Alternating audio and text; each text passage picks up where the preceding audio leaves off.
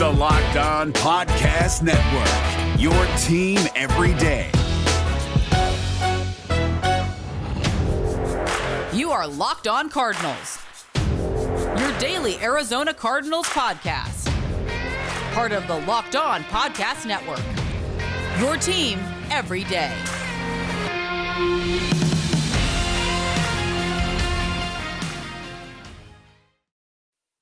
Fired up, rise up, Red Sea, Locked On Cardinals, part of your Locked On Podcast Network, your team every day. We're your host, Bo Brack, Alex Clancy. Follow along on Twitter. Our Twitter account back up, fully operational after, uh, I guess, Alex, I don't know if you were sending some unsavory tweets, but at Locked On AZ Cards. And also, you can follow us at B O B R A C K, Bob Brack in your search queue, or at Clancy's Corner.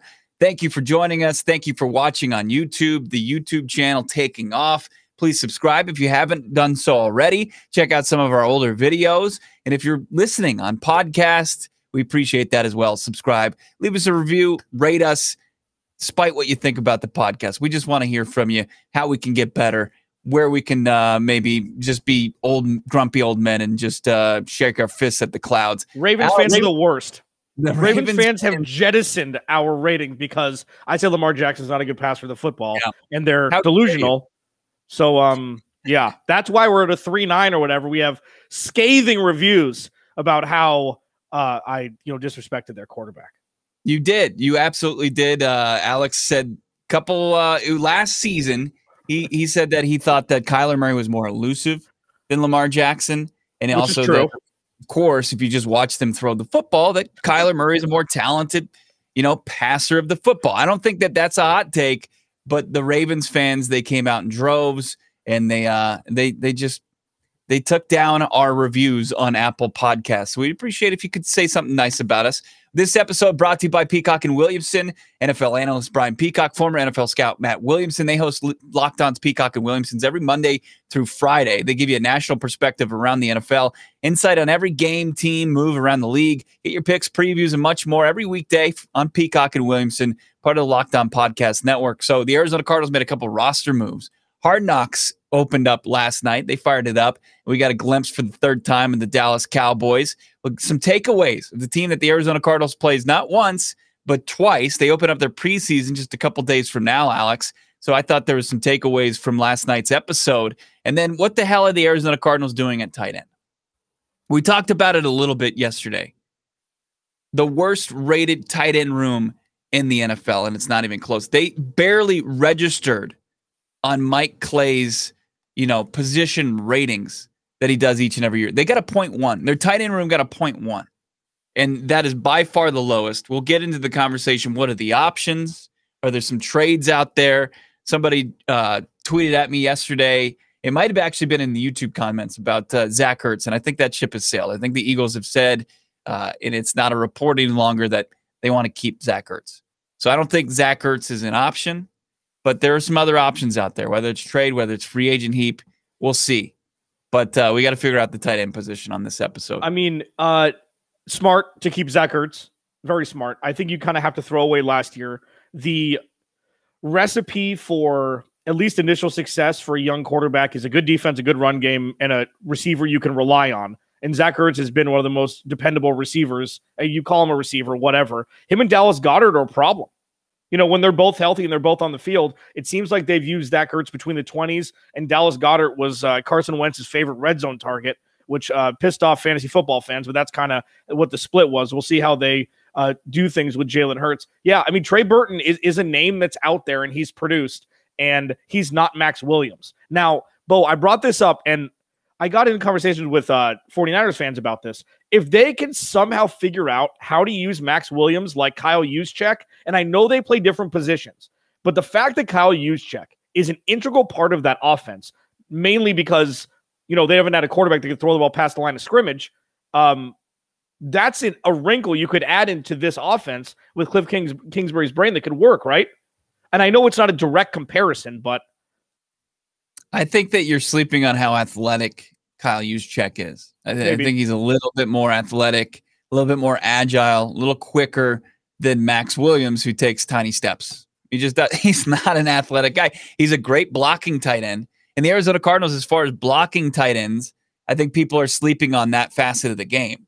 Like when you look at that room, they're very they're very productive in opening up rush lanes. That Maxx Williams one of the best in the league.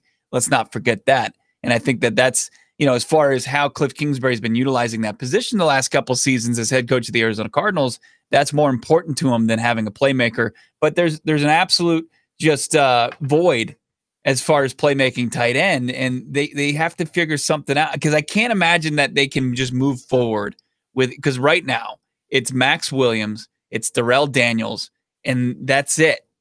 You know, Ross Travis, the guy that used to play power forward for Penn State, he's been in the league since 2016. He's on the roster. I think he's third on the depth chart. What are the expectations? Is he going to be your guy when you want somebody in the middle of the field? Unless they're just going to be like, okay, it's going to be our receivers. We've invested in the receiver position a lot of draft capital. There's three second round picks that play the wide receiver position on a roster. There's AJ Green and of course DeAndre Hopkins. Are they just like we just need a we just need our tight end to block? Yeah, but and I mean, listen, that's completely rational. I mean, if you want to protect Kyler Murray and you can, you know, run plays from Maxx Williams where, you know, it happens all the time where there's, you know, you come in in, in, in jumbo and there's a tight end that's wide open for a touchdown. I mean, that's going to be there. I mean, if you want to use AJ Green in the slot, he can kind of be like a tight end. If you want Larry Fitz, when Larry Fitzgerald comes back, or or if he does, you can use him in that tight end role where it's not going to be blocking first. You know, you just line him up inside and not necessarily on the line, but you line them up. And I mean, you could do it that way. So you're right, you can circumvent it. But at this point, Bo, like, why clip your wings? And maybe this is just because they're waiting to see if Larry's going to come back. But there are names, even Delanie Walker, who's out 80% of the year you could bring him in a year, two mil, and just at least he's produced from the position because now they have they don't have a, a, a tight end on the roster that you can trust for anything aside from blocking. It's it's basically it's the NFL version of running a four guard lineup. Yeah. I mean it is. I mean it's you're going to run out all those wide receivers and you're going to have one big guy that can maybe rebound a little bit and protect the rim but you're not going to rely on him offensively. And when we talk about, you know, this as far as how it, it pertains to the the tight end position, is you're just going to rely on him to block. You're not going to have him go out there and make big plays. If if I were to tell you, if I were to predict, and it, it comes to fruition that that uh, Maxx Williams has 200 yards receiving and Darrell Daniels has 200 yards receiving, you can get 400 yards of receiving yards from your tight end position. Are you okay with that? If your wide receivers do what you think they can do. I mean, that's around what Dan Arnold had last year. I think he had upwards of 500 receiving yards and four touchdowns. I think I need to double check, but no. you know, I mean, you we saw last year, and and listen again, there is no safety net on this offense. Like, so say Kyler doesn't get like Kyler's there 17 games, okay? If DeAndre got, Hopkins gets injured, or if AJ Green gets injured and misses some time, there is no safety net at all or at least not a proven one. You're not going to rely on Rondale Moore and Christian Kirk to have 20 targets between the two of them if one of the big guys goes down. So you need as much help as you can get at this point. It's not a matter of is it going to work? It's a matter of they need more to make sure that if something goes wrong that they can still run an offense that can facilitate some points. Uh, Dan Arnold had uh, just over 430 yards receiving, yeah. four touchdowns. Right, and they so, were in bulk too. Like I think he had two touchdowns and one. Like it was he was the wide receiver too. It seemed like towards the tail end of last season. Yeah, that was with Christian Kirk disappearing. Yeah. Um, and that that was uh, yeah, there was there wasn't anybody outside of DeAndre Hopkins that was making plays down the stretch for the Arizona Cardinals. It was yeah, it did feel like Dan Arnold was the guy that was making plays opposite Nuk. So I'll take I'll take those numbers that I that I was projecting for Darrell Daniels. Now I still think that they should do their due diligence in scour the waiver wire and just see who's available and who becomes available between now and the start of the regular season, it, it will be tough to implement that person and expect that they're going to be able to, you know, make an impact early on. But it, it just seems like I, I we've gone over this so many times before, and you can check just our entire podcast library where we've pointed out the futility of the tight end position historically in the Arizona Cardinals franchise. I mean, their GOAT tight end is Freddie Jones in the early 2000s, and he barely had over 500 yards receiving. Like, that's the GOAT status at the tight end position. That's not good. The last peak we had was when Ricky Seals Jones came off the practice squad and had two touchdowns in three games. Like, yeah, oh, found him. Gap. Antonio yeah. Gates found him. He's our guy forever. you know, like that, and that happened. That's like it was Ricky Seals Jones fever here in Phoenix because yeah. there was actually some sort of production from that from that position. But RSJ, man, RSJ. People, no, you know what? It, it was the the fever was real because if you were in any, any fantasy league, the following season, in the, the, every draft, Ricky Seals Jones was going way too early, and then he was yeah. a, he busted. He busted because he was he was a practice squad guy, and he's actually done pretty well for him himself. He's still in the league. The Arizona Cardinals did release one of the tight ends that they picked up earlier this offseason. We'll tell you who that is as they made a couple roster moves uh, yesterday. And then we'll continue to look forward. I'll give you some takeaways. I tuned into Hard Knocks last night because, my God, who doesn't watch Hard Knocks when it's on TV? HBL, man, it's back. You hear the theme, you're, you're a loser. It's Locked On Cardinals, part of your Locked On Podcast Network, your team every day.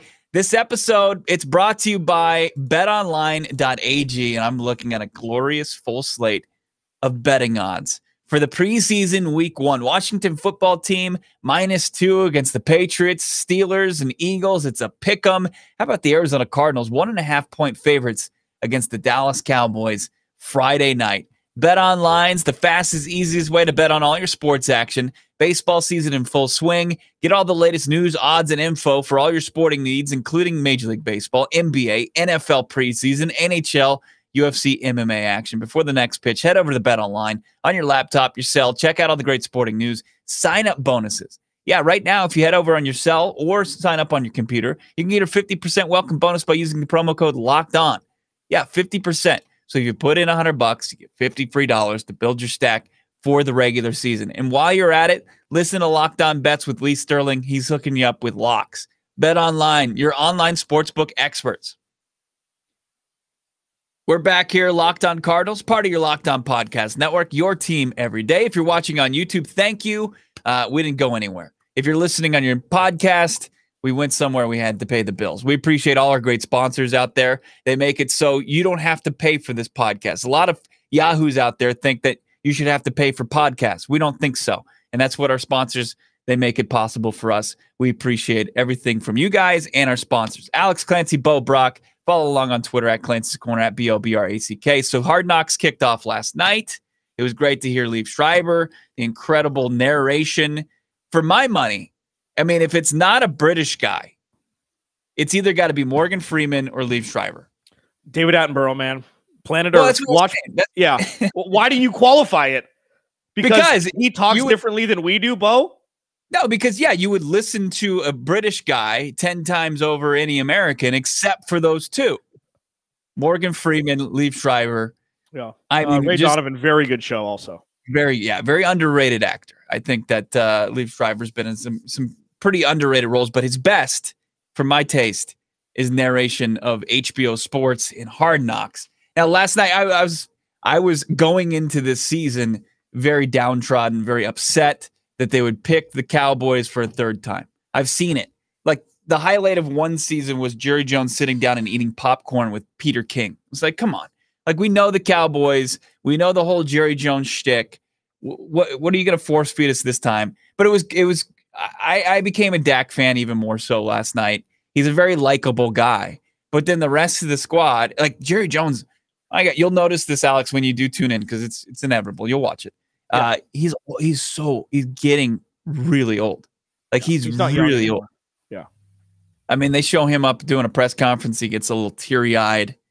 My wife's like, "Oh, you know, like this sad old man, like crying," and I'm like, "That's Jerry Jones." Stop it yeah, you stop. You do not no no empathy for Jerry Jones. But there was some takeaways. You know, uh, when you look at Micah Parsons, and they did a, like a little feature on on Micah Parsons, who they they uh, they selected. I think was Parsons was the second defensive player off the board in this year's draft behind uh, Jaycee Horn. Um, I mean, he's going to be the main competition for Zaven Collins for the rookie defensive rookie of the year. And I got to admit, like there was a scene where Micah Parsons was getting burned by a fullback on a route. And it kind of made you like, okay, we, we saw Zaven Collins recently. Watched a video of DeAndre Hopkins with Zaven Collins draped over him, and the coverage looked way better. I mean, this fullback, unnamed fullback, who I think is third on the depth chart, I checked this morning, made made uh, Micah Parsons look like he was standing still. Yeah, I mean, there's a lot of Isaiah Simmons and Micah Parsons. Not exactly the same player, obviously, but Micah Parsons was an absolute mauler. Like, yeah. if there wasn't that stuff off the field that obviously you put credence in, and obviously, you know, it's a big deal. He could have yeah, gone accusations of, uh, accusations of bullying and yeah, sexual assault. Kind of, uh, it was it was a, a, locker room thing. Um, yeah. he could have gone before Jaycee Horn. Like, it, I think he dropped because of that, and dropping for him was where was it ten when when where he went to eleven to the Cowboys. Yeah. Uh, the interesting part about the Cowboys, whenever I think of the Cowboys now, we always talk about, you know, who could we compare the Arizona Cardinals to? Some people say Kansas City, which is a joke. I went to Cleveland because there are, you know, high expectations. There's some names, but the media, as you mentioned, was burned by the Cardinals in 2015 or in 2016. Cleveland burned the media in what, in two years ago? And you look at Dallas, how many big names are on that roster and how much have they won? Yeah. You know, it he, just he shows it could be a cautionary tale. A 12? Yeah, he was there was the deal. They they flip flop within the division. Um yeah, no, I, oh, I right. completely agree. And you're watching that and and they're highlighting the offense the entire episode. You're like, this this is a team that's still struggling. They're gonna yeah. struggle mightily defensively. They they are. They just didn't do enough. I mean, they they drafted a bunch of guys, uh, but you can't expect them to make a a big, you know, impact year one. And, I, and I'm actually more comfortable with Zaven Collins than Micah Parsons at this point. Two guys who didn't really play last year because of the pandemic college football season. But as far as you know, I know I know uh, Zaven Collins was going like a thousand miles per hour in Scottsdale driving down Chaparral. But if that's his biggest character flaw, having a lead foot, you know, uh, yeah, slow down, son. But at the same time, like I, I like his his leadership qualities. I like his coverage ability, especially this day and age. And um, I, I, just think that you know his main competition is going to be Micah Parsons because of just his raw skill set, Parsons. But I think Zaven Collins, and you look at the two guys that have been paid recently, and Darius Leonard and and Fred Warner. I think that the Arizona Cardinals could be on onto something if Zaven Collins pops. Now, I well, will say this. Yeah, go ahead. No, I mean it's just we're not used to things working out with with draft yeah. picks. That's why. Yeah. This none of this none of this narrative has anything to do with Zaven Collins the player, which sounds super weird and twisted, but it's like again, I go back, it's like the movie Rockstar. I mean, you go in, you draft somebody and it doesn't work. That's what we've seen from the Arizona Cardinals and Steve Keim. You know, Kyler Murray obviously, we've seen flashes here and there, Budda Baker obviously, but all in all, it's not great. And we saw with Isaiah Simmons last year not being on the field. So Zaven Collins, the player, probably needs to be focused on a little bit more than Zaven Collins being tied to Steve Keim and that being the story. You yeah, we, I mean? we, definitely, yeah, we definitely haven't seen him make an impact outside of Kyler Murray. Like no first round picks, not named Kyler Murray, have made an impact early on.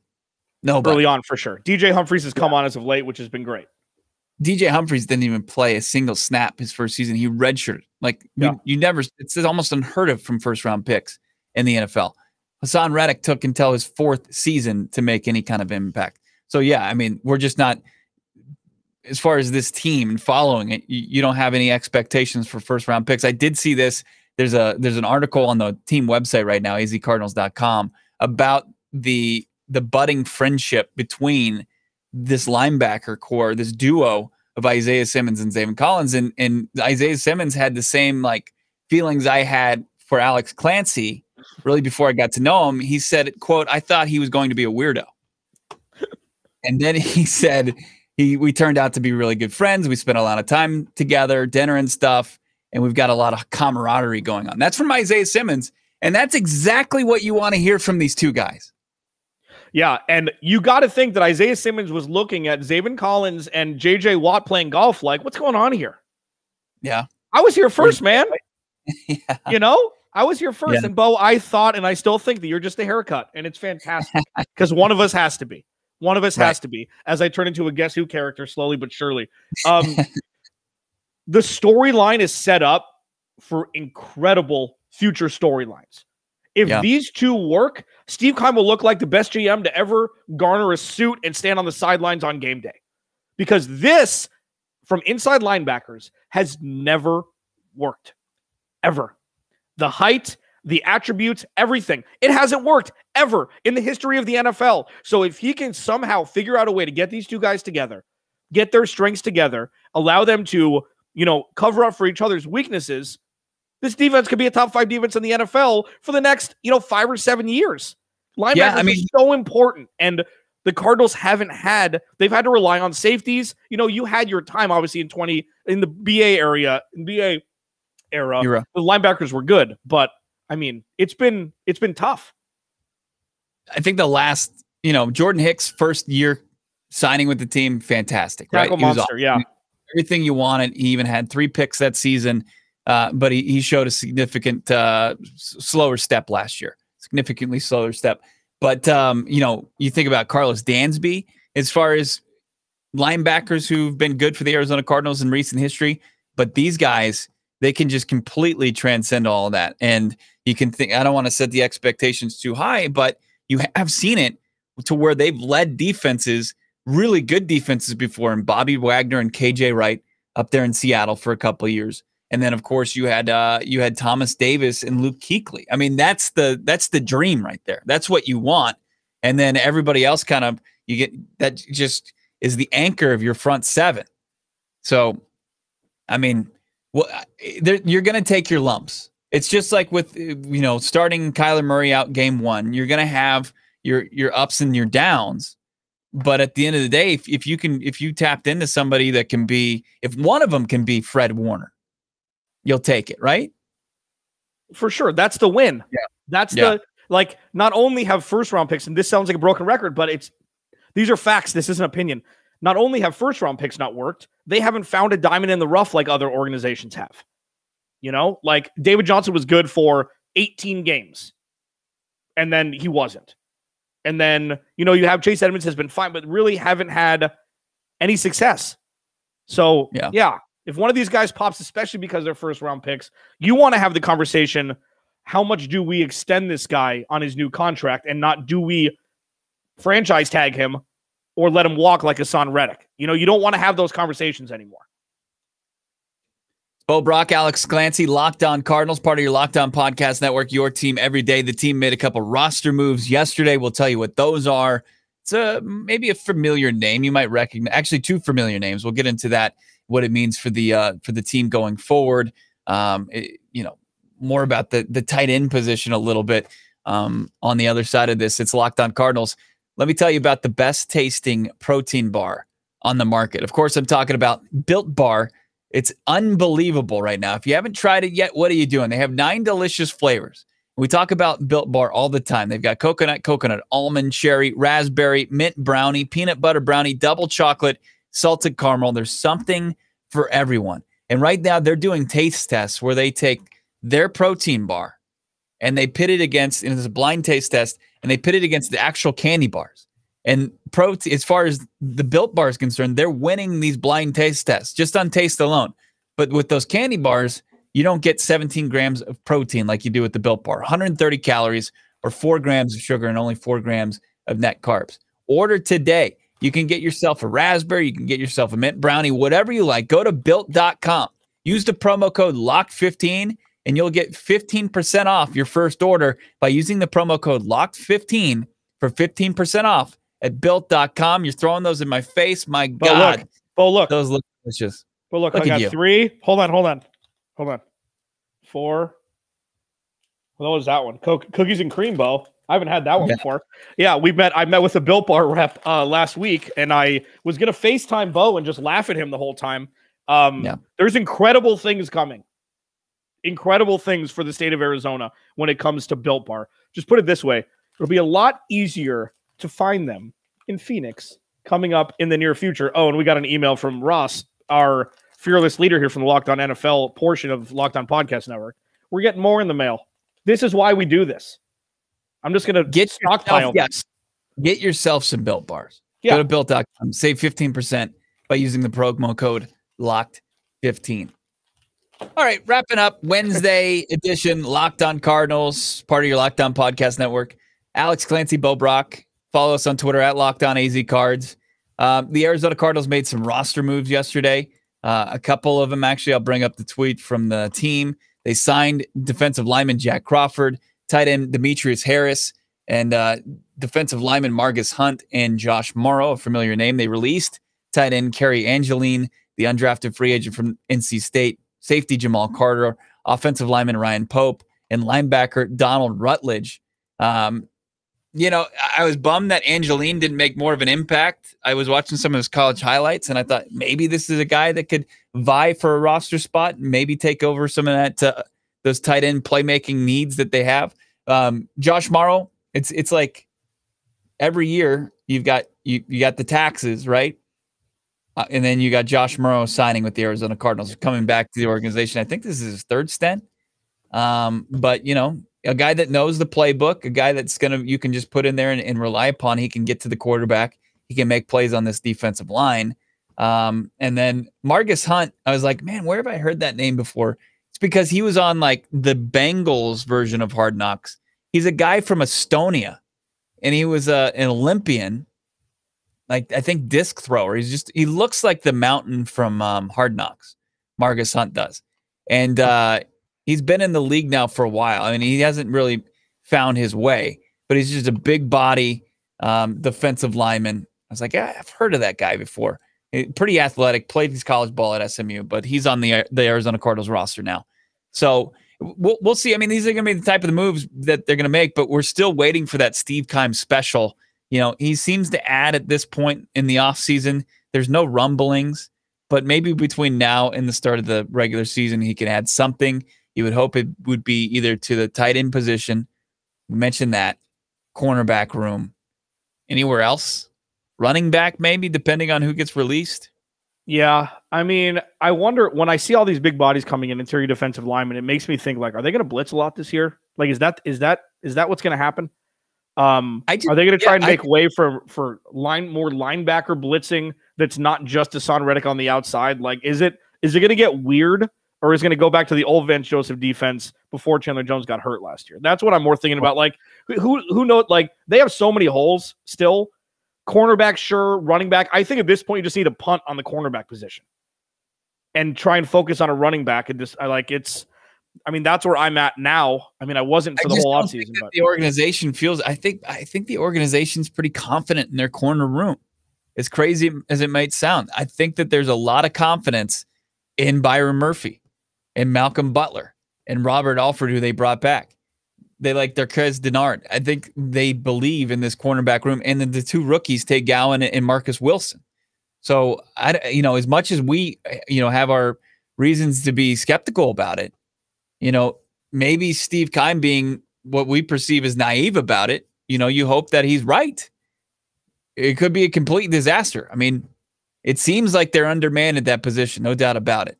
Um, running back is interesting. I, you know, a name I, I would probably keep tabs on is Sony Michel in hmm. uh in, in New England because it's 38 such, running backs. They do, they do, and they just drafted one your boy uh Rhamondre. yeah, Rhamondre Stevenson out of oh. Oklahoma. Yeah. And they all, you know, Damien Harris seemed like he kind of took over the reins as the as the lead back there. I mean, I think Sony Michel could be a guy that he'd be. I think he'd be a good complement to uh to what they have going on right yeah, now. So, that's a good name. Um, but you never know. You never know what's going to happen, especially with where the salary cap is right now for this season. You know what what teams are going to be able to do uh, and who they're going to release, who's going to become available. Because like the offseason, there were names that were available that have the quantity of names that were available that were viable options was a lot higher than it's been before, and it might be the case leading up to the regular season. It'd be it's, it's something to keep tabs on. And then I is, to answer your question, what I think as far as the defensive line, when you don't have a guy named Aaron Donald, you know, the trend in the league is just to have a rotation. Yeah. And so they're just going to get as many bodies in there and guys that they think are going to be, you know, making some noise along with number 99 and number 55 and op- opening up those rush lanes. I think they're just going to get as many guys in there to stay fresh and have, you know, fresh lungs to get to the to open up and, and occupy offensive linemen. Yeah, I guess that makes sense. I mean, it's just power and numbers, and you know, injuries happen all the time. Obviously, all the old cliches when it comes to the NFL. Yep, we're only a couple days away. We've got uh, two more podcasts before the Arizona Cardinals play football. We've got our throwdown Thursday tomorrow, and then we've got uh, Friday. We'll preview that showdown with the Dallas Cowboys. But yeah, we're going live right after the show, right? We'll we'll hit live on YouTube and Twitter. Or sorry, right after the game, we'll go live for about ten or fifteen minutes, and then do a full reaction on Monday and preview the you know the second preseason game for the. You will have yeah, you'll have a full reaction YouTube show, and we'll have it up right there in your podcast as well that you could find probably Saturday morning, but we'll be live Friday night with our reaction to the game. It might even be when the fourth stringers are in there. Just keep make sure you're lo- you're following Locked On AZ Cards on Twitter at Clancy's Corner. Follow Alex. Follow myself at B O B R A C K Bo Brack. And of course, uh, keep that alerts button, hit that alerts option on the YouTube so you don't miss out on anything. It'll send you a little notification when we do go live or when we post new episodes. This show will be live on YouTube, premiering on YouTube at noon today. And uh, we appreciate everybody tuning in. Make sure you're subscribed, podcast, YouTube channel. We'll talk to you Thursday. It's a throwdown Thursday. What do we? What should we kick around here? I think uh, DeAndre Hopkins leading the NFL in receiving. I saw some odds there. Sure. I mean, in yards or touchdown, like I think yards is is fine, but we got to come up with some sort of metric for receptions, yards, and touchdowns. Let's because his touchdown numbers were not good last year. All right, it's locked on Cardinals. We'll talk to you guys tomorrow. Uh,